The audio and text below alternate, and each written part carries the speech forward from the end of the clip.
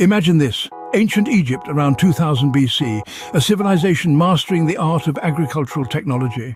Among their numerous innovations, one stands out, the shaduf, a hand-operated device ingeniously designed for irrigation. Picture a long, pivoting beam. On one end, a bucket, on the other, a counterweight. This simple yet effective tool, a game-changer for the Egyptians.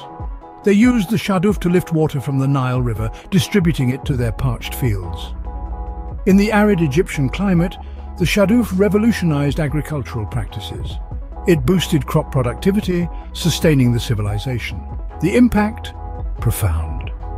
This significant leap in agricultural efficiency influenced irrigation practices for centuries to come. Indeed, the shaduf, a testament to the ingenuity of the ancient Egyptians, a marvel of agricultural technology shaping the course of history.